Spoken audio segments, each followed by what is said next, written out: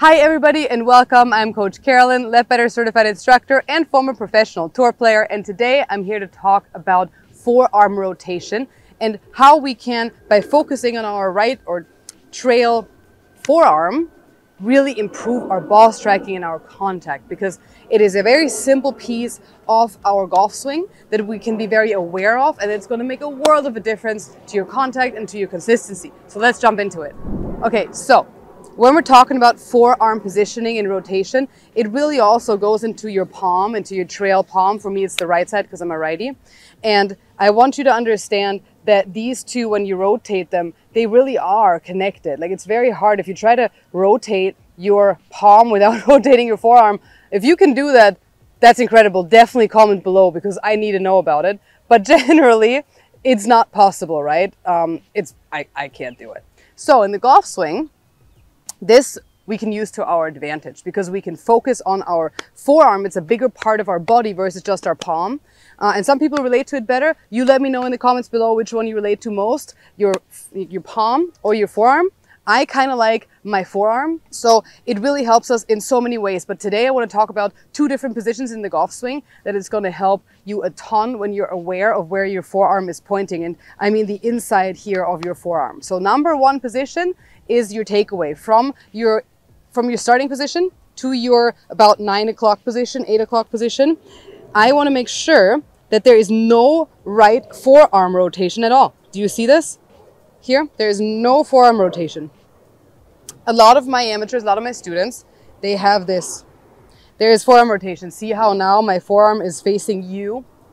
That's a problem because now your face is open and you have rolled it inside and you're going to be too low and too deep in your backswing. So in that first couple of centimeters, inches, whichever one you go by of the golf swing, you want to make sure that there's no forearm rotation, only the belly button moves the club away, and your forearm stays pointing at your ball. See how that's still pointing at my ball? So I haven't rotated it, it's just on the arc of my swing, but there's no actual rotation. If I actually rotated it, you see what happens from down the line. I open my face and I roll it inside. We do not want that. We want to make sure that our forearm keeps pointing down at the ball. And then when we hinge, we also hinge that way. We want to make sure our forearm does not rotate yet. And then we just kind of turn up and we're in a perfect top position to go from. And when we're in that top position, again, we're coming down into the ball. And I want you to feel like your forearm and your palm are again starting to face your ball. So when you're you're taking it back, let's do this correctly. Eight o'clock, check. My right forearm here has not rotated at all. I'm hinging and I'm going back. And now, obviously now in the top position, my forearm, just by how we have hinged and how we've turned, it is facing you guys. It's facing the front camera a little bit. But I want to make sure that when we're coming down, we feel again like we want to face that palm and we want to face the forearm towards the ground, towards our target, towards our ball. So from the top of the backswing, forearm is showing to you guys, it's kind of looking up to the front. And then as we're coming down, we want to make sure we get that club face back down to square. So we got to rotate it. And then at impact, we want to make sure our right forearm is actually pointing at our target. So it goes from top to feeling like it's pointing at the ball your palm and your forearm, and then you feel like your palm and your forearm are going to be pointing at the target. And that's really the two positions. Just in your takeaway, start to 8, 9 o'clock, and then coming down, and right from that reverse 8 o'clock to your impact is when we're feeling that same thing. We want to make sure we get that compression, and this palm and forearm direction is really going to help you with that compression piece.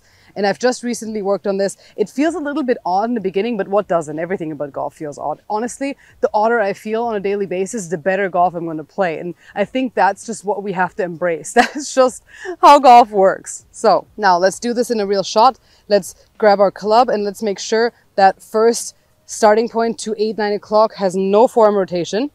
And then we go up and then as we're coming back down into that reverse eight o'clock to impact, we feel like that forearm yet again is pointing at our ball, palms pointing at our ball, and then palms pointing at the target, forearms pointing at the target. And you see how that puts that handle forward. It gives me that compression that I'm looking for. So let's hit one. That was really nice and compressed. I have a little bit of a crosswind here. It's kicking up. It's kicking up. Set another one for you guys. Again, nice and no forearm rotation, just belly button rotation, just core rotation here in the takeaway. And then it comes off the face so nicely and penetrating. So if you feel like you can't get power into your ball, if you feel like you can't translate all the stuff that you're doing in your golf swing into the motion, into the energy, into your impact position, watch your palm direction and your forearm direction. Again, they're usually the same thing. So whichever one you refer to and relate to and feel best, up until here, palms facing to the ball, forearms facing to the ball, turn up, coil up, coming back down into our impact position here, forearm, forearm is facing forward slash here it feels like it's facing down as you're coming down. Your palm is facing down to the ball and then everything is going to be facing at the target right through impact. So next time you're on the range, make sure you feel where your forearm and your palms are pointing because I love this. It is so simple. It gives you so much control and such good reference points in your swing that really help you get more penetration, get that better contact. It's really going to keep you from chunking the ball. It's going to keep you from bottoming out too soon, too early, hit the ground before the ball. And it's just really going to improve your golf and your ball striking overall. So make sure you try it. Leave me a comment in the bottom and I want to hear which one you can feel better, your palm or your forearm. And then I cannot wait to have you join me next time. This is your first time here on my channel. Please follow, like, and subscribe. And I cannot wait to jump into the next session with you.